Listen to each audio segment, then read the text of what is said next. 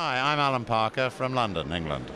And uh, who are you representing here at WTTC? Uh, I'm Chief Executive at Whitbread, one of the uh, oldest companies in the UK and now Britain's largest hotel and restaurant company. Fantastic. T- tell me, um, what are you hoping to get from uh, the event here? What I'm hoping to get is really two things. One is to learn. I listen and learn and pick up a lot of new ideas and things here. And secondly is to network and meet a lot of old friends and make some new ones as well. Um, one of the, the major kind of uh, agenda items uh, this year is, is sustainability. Um, could you tell us a little bit about kind of Whitbread's kind of um, um approach and strategy in this area? Well, we have uh, a couple of things heavily on our agenda. First of all, in terms of construction, we are building uh, over 30 hotels this year in the UK, so we look at the most e- eco-friendly and sustainable way of uh, procuring our construction materials. That's number one.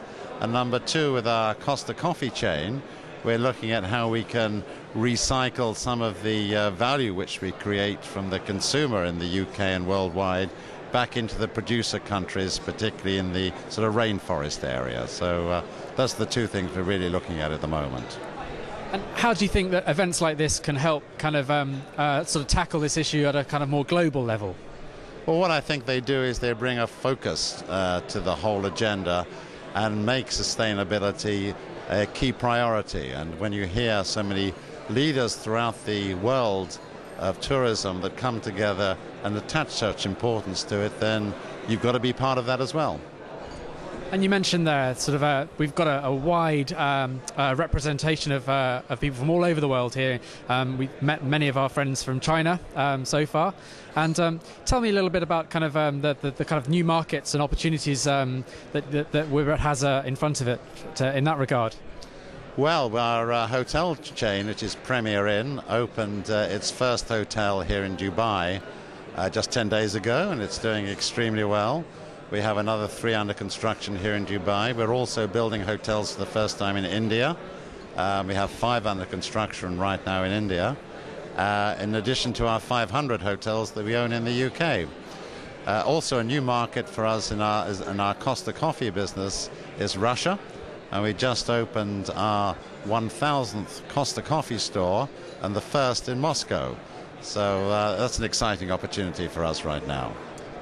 And what are the what are the challenges you, you you're facing now? Uh, um, you know, we've obviously uh, recently the, the, the credit crisis is uh, is is a major issue. We've talked a little bit already about sustainability, but what are the challenges for you moving forward?